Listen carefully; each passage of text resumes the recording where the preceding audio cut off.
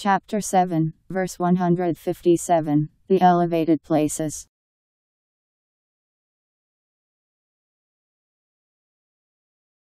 Those who follow the messenger, the prophet who can neither read nor write, whom they will find described in the Torah and the Gospel which are with them, he will enjoin on them that which is right and forbid them that which is wrong, he will make lawful.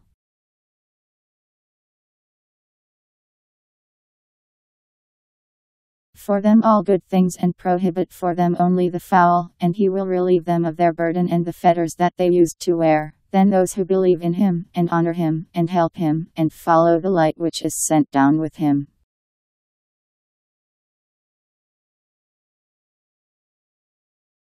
They are the successful.